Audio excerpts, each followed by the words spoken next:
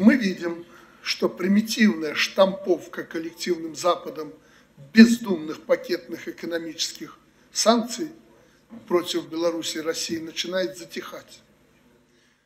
Все, что можно было запретить и ограничить, пусть даже и себе во вред, наши контрпартнеры уже сделали. Теперь для них пришло время осознания и оценки последствий. Столице Кыргызстана, Бишкеке, 9 декабря состоялось заседание Высшего Евразийского экономического совета. В саммите приняли участие лидеры стран ЕАЭС, а кроме Беларуси это еще Армения, Казахстан, Кыргызстан и Россия – Пятерка ЕС собралась в очном формате впервые за три года после встречи в декабре 2019 года в Санкт-Петербурге. Все последующие заседания ввиду пандемии проходили в формате видеоконференции. Как отметил хозяин нынешнего саммита президент Кыргызстана Садыр Жапаров, очный формат все же представляется наиболее эффективным – Полагаем, под этим утверждением может подписаться и президент Беларуси Александр Лукашенко, который всегда выступал исключительно за личные контакты. Говорили про экономику, взаимную торговлю, кооперацию, устранение барьеров и создание единых рынков. Но в нынешнем неспокойном мире еще важнее вопрос политический. И если хотите, ценностный. Чувствовать надежное плечо партнеров и друзей, на которые можно опереться, какие бы при этом ни дули глобальные санкционные ветры. Что оказалось самым важным на саммите в Бишкеке? Чего не должно быть в ЕАЭС? Чем Меркель разочаровала Лукашенко? Как Украина могла бы сохранить свою целостность? И про что на самом деле пошутил Лукашенко, когда говорил про Мерседесы? В этом выпуске мы, как всегда, поговорим о главном. Что такое Евразийский экономический союз, международное интеграционное экономическое объединение, участниками которого являются Армения, Беларусь, Россия, Казахстан и Кыргызстан? Предшественником ЕАЭС было Евразийское экономическое сообщество Евразес. В 2014 году был подписан договор о Евразийском экономическом союзе Беларуси, Казахстана и России. Подписи под документом поставили Александр Лукашенко, Нурсултан Назарбаев и Владимир Путин. Позже к договору присоединились Армения и Кыргызстан. Этот договор обозначил переход евразийского экономического проекта на новый, более глубокий уровень интеграции. Он предусматривает свободу движения товаров, услуг, капитала и рабочей силы, а также проведение скоординированной, согласованной или единой политики в отраслях экономики. Важно понимать, что страны все еще идут по пути реализации того, о чем договорились в мае 2014 года в Астане. Ведь тогда договор подписали скорее на перспективу, как бы авансом, о чем сразу открыто говорил Александр Лукашенко. И Беларусь всегда стремилась пройти эту дистанцию как можно быстрее, порой даже подталкивая партнеров вперед, к более тесной интеграции. Мы готовы к последовательному, обязательному движению на пути полной реализации договоренностей, достигнутой в ходе очень непростого переговорного процесса. Вместе с тем необходимо констатировать факт, что решение ряда проблемных вопросов экономического сотрудничества, прежде всего касающихся взаимной торговли между государственными-членами, отнесено на отдаленные сроки. Чтобы наша дальнейшая совместная работа по этим направлениям не забуксовала, чтобы мы также упорно двигались по этому пути, а подписание сегодняшнего договора – это не окончание процесса. Я бы сказал, это начало серьезного процесса, того процесса, когда мы и сами себе, повторяю, и всему миру обязаны доказать, прежде всего, своим народам, что мы сделали правильные шаги в этом направлении. Мы верим, что экономический союз станет основой в будущем нашего политического, военного и гуманитарного единства.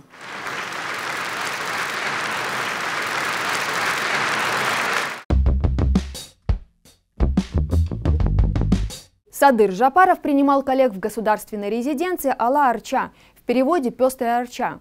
Арча – местное название можжевельника – Несмотря на то, что вслед за Кыргызстаном председательство принимает Россия, президент Беларуси приехал на саммит с четкими предложениями по развитию евразийской интеграции.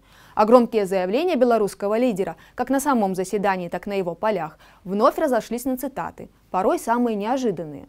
В белорусском информационном пространстве новости о Бишкекском саммите начались сообщения. Первый на заседание не поехал, а пошел – Вскоре телеграм-канал Пул Первого опубликовал видео, на котором президент Беларуси рассказал кыргызскому коллеге, что ему пришлось идти пешком, так как «Мерседесы слабые, не заводятся».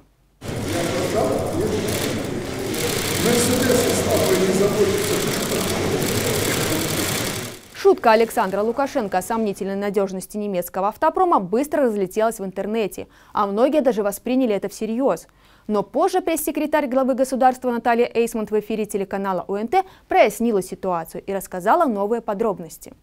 Тут момент состоит в том, что журналисты, ухватившись за первую часть этой фразы, этой шутки главы государства, не услышали продолжение. А во время церемонии встречи президент продолжил. Он сказал о том, что ну, в связи с работой немецкого автопрома, э, может быть, наши союзники, наши друзья подарят каждому из нас по аурусу. Вот э, э такой была вторая часть этой шутки, которая журналисты, ну, видимо, увлекшись Мерседесом, э, и не услышали. На самом же деле с автомобилем все было в порядке. Просто в день саммита была комфортная морозная погода, а место встречи глав государств находилось недалеко. Поэтому Александр Лукашенко решил прогуляться пешком. На всех подобных саммитах лидеры стран традиционно сначала встречаются в узком формате, где есть возможность без лишних ушей спокойно обсудить наиболее животрепещущие вопросы – так было и в этот раз. После краткого вступительного слова хозяина саммита прессу попросили на выход. Желаю всем нам плодотворной работы. Благодарю представителей средств массовой информации. Далее мы продолжим наше заседание в узком формате.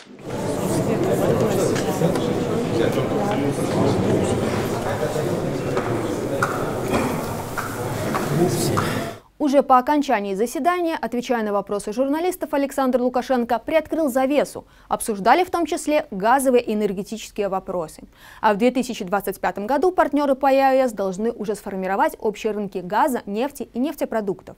Ты говоришь, что мы будем спокойно идти на большее не способны. И не только Россия, как оказывается, не только Россия э, не готова вот к таким резким движениям, но практически все страны, которые сегодня добывают или покупают, к примеру, газ. Потому-то говорили, что в двустороннем формате. Поскольку с 2025 года рынок будет работать, давайте не будем э, друг друга тут терзать, а на двусторонней основе урегулируем этот вопрос. На узком составе мы об этом договорились, поэтому какой смысл? Весьма показательно, что Александр Лукашенко решил на заседании в расширенном составе озвучить подготовленные тезисы выступления для узкого. А ведь последнее всегда, как правило, гораздо острее и предметнее, в то время как расширенный формат более общий. На первой части переговоров эти тезисы не озвучивались. Лидеры стран большей частью вели дискуссию, и глава белорусского государства в присущем ему стиле решил поговорить исключительно по существу и начал с темы санкций. Мы видим, что примитивная штамповка коллективным Западом бездумных пакетных экономических санкций против Беларуси и России начинает затихать. Все, что можно было запретить и ограничить, пусть даже и себе во вред, наши контрпартнеры уже сделали. Теперь для них пришло время осознания и оценки последствий. Слова про энергетические продовольственные кризисы – уже звучат со всех трибун.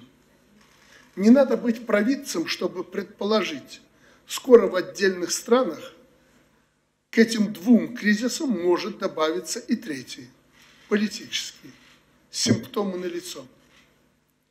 Внутренние критические оценки, в первую очередь со стороны населения и бизнеса в ряде западных государств, слышны все громче заявления чуть ли не об экономическом коллапсе в наших странах сменились трезвыми суждениями обозревателей, аналитиков, отдельных политиков о том, что санкции ударили по самим инициаторам гораздо больше.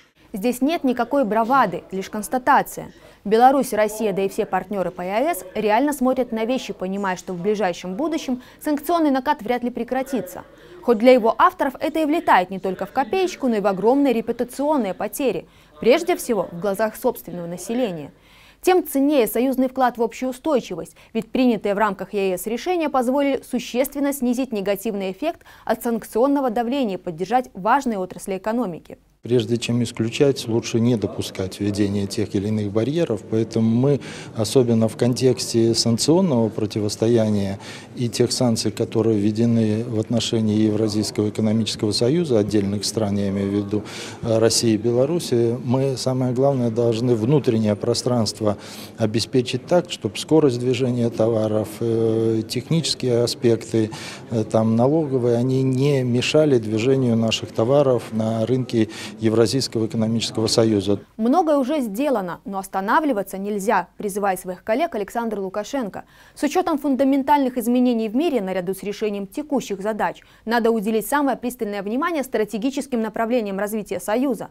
Итак, что же предлагает глава белорусского государства? Первое в кратчайшие сроки обеспечить реальный выход на реализацию совместных проектов по созданию современнейших производств фактически производств будущего. Это президент обозначил как обязательный элемент общего экономического суверенитета, и здесь сразу возникает аналогия с реализацией белорусско-российских кооперационных проектов. Может, вот в чем ответ на периодически возникающий вопрос о пользе союзного государства.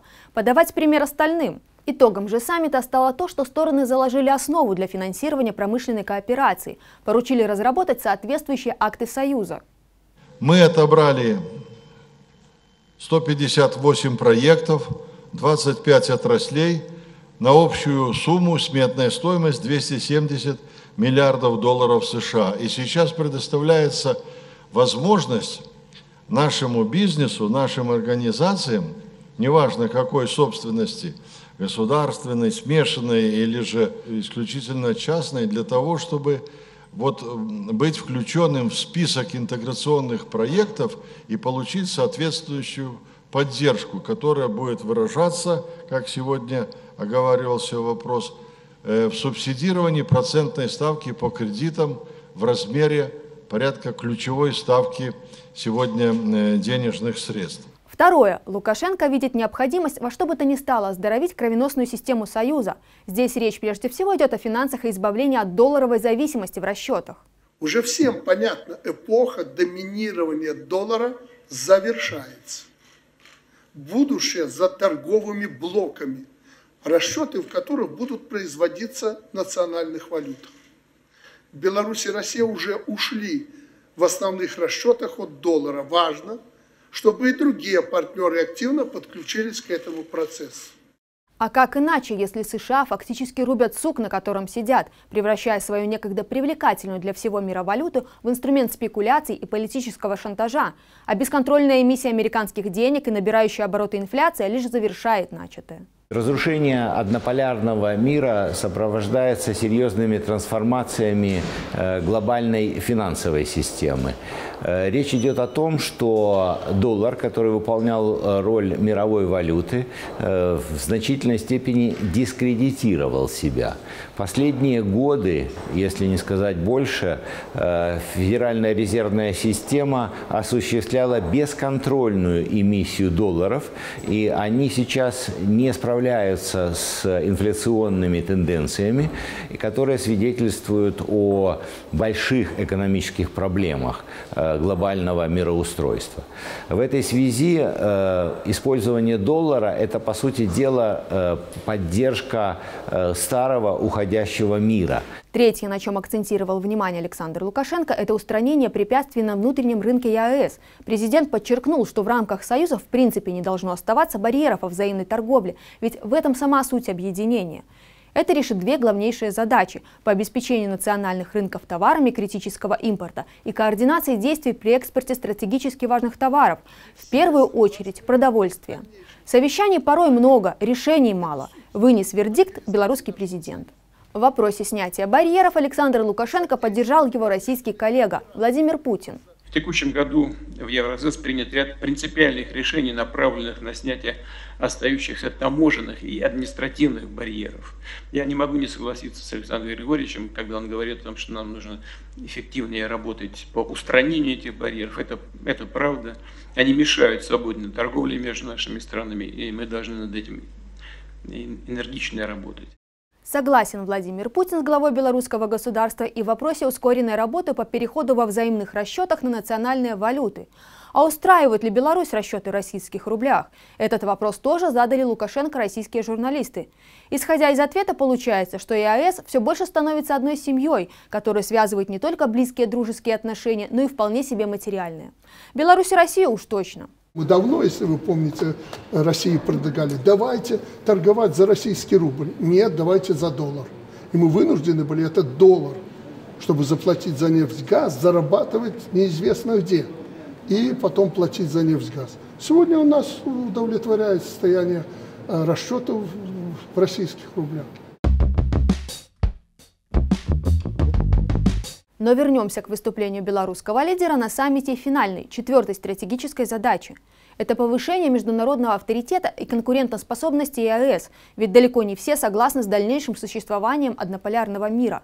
Как следствие, растет роль таких интеграционных объединений, как ШОС, БРИКС. И наш союз, уверен глава государства, должен идти с ними в ногу. Президент заявил, что настало время для проведения саммита стран-членов ЕАЭС, ШОС и БРИКС, а возможно, что и некоторые государства АСИАН захотят принять участие в такой встрече. Стержневыми пунктами повестки саммита могли бы стать вопросы экономического взаимодействия, например, формирование региональных торговых блоков, использование национальных валют, а также темы энергетики и безопасности. Не менее важно и дальнейшее расширение зон свободной торговли Союза с другими государствами. Например, на саммите принято решение о начале переговоров по заключению подобного соглашения с Объединенными Арабскими Эмиратами, что, по словам Александра Лукашенко, является знаковым политическим шагом. Уже на завершающем этапе переговоры о зонах свободной торговли с Ираном и Египтом. На подходе начало переговоров с Индонезией и Монголией. Заключение таких соглашений, помимо экономических бонусов, демонстрирует тщетность санкционного давления со стороны коллективного Запада. Однако саммит в Бишкеке запомнился не только экономической тематикой. Насколько президент Беларуси любит общение с журналистами, настолько и они с ним. А в последнее время взять эксклюзивный комментарий у белорусского лидера по актуальным международным темам стало просто из разряда must-have. Александр Лукашенко прокомментировал неожиданное заявление экс-канцлера Германии Ангелы Меркель насчет мирных переговоров и заключенных несколько лет назад Минских соглашений. Оказывается, это было всего лишь предлогом, чтобы дать Киеву время нарастить силовой и военный ресурс. Должен вам сказать, я Владимир Владимирович свою точку зрения насчет этого высказал. А, если это так было бы, как она говорит, это, это отвратительно. Но это не так. И то, как есть на самом деле, это не просто отвратительно, это мерзко. Меркель, я тоже этого не ожидал, и президент России об этом сказал, он не ожидал такого выпада от Ангелы Меркель. Она поступила мелко, мерзко. Она хочет быть в тренде. Минские соглашения и позиция Меркель, как и других, в том числе и Порошенко, были тогда очень серьезны. Представляете, после минских заседаний весь мир говорил о том, что, ну, наконец, сделали шаг и подписали эти соглашения. Прекратилась война, перестали гибнуть люди. Все это позитивно оценивают.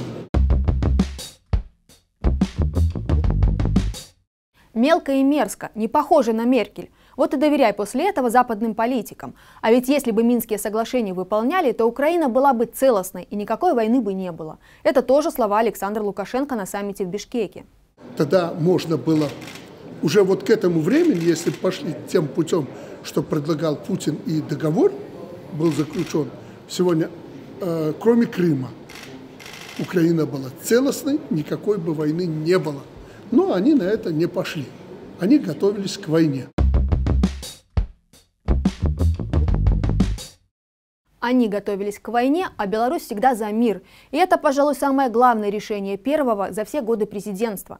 А ведь даже создание ЕАЭС давалось нелегко. Поначалу многие принципиальные для Беларуси вопросы оставались за бортом. Но и здесь было принято единственно верное решение с расчетом на будущее. Стоит вспомнить, что процесс евразийской интеграции начинался когда-то при участии Украины. Позволим себе дополнить Александра Григорьевича. Не сверни она с этого пути, сегодня была бы не просто целостной, но и с Крымом. В связи с этим вот еще важная часть из речи президента Беларуси в Астане в день подписания договора о ЕС в 2014 году. Кого-то мы теряли на этом пути, я имею в виду Украину времен Кучмы, которая также начинала с нами эту тяжелую работу. Но, к сожалению, ноша оказалась очень тяжелой для Украины, но я уверен, что рано или поздно руководство Украины поймет, где лежит ее счастье, по крайней мере, не будет терять то, что по праву должно принадлежать украинскому народу. Кого-то мы находили на этом долгом и трудном пути, как наших друзей и братьев из Армении, Кыргызстана. Всякое было, всякое было за эти десятилетия, но мы не останавливаясь, шли вперед, верили в будущее. Так, Лукашенко говорит всегда и везде, и его слова подтверждают конкретные действия и мирные инициативы, нацеленность на создание совместных производств, устранение барьеров, взаимовыгодную торговлю, да и просто добрые отношения между странами. И заметьте, ни слова о войне. Но это не значит, что Беларусь в случае необходимости не сможет ответить. Выпуск про наше вооружение мы уже сделали. Ссылку на него ищите в комментариях, там много интересного. Это был проект по факту решения первого. Подписывайтесь на наш канал, чтобы не пропустить новые выпуски. Мы говорим о главном. Опираясь на два фундаментальных принципа – простота и справедливость.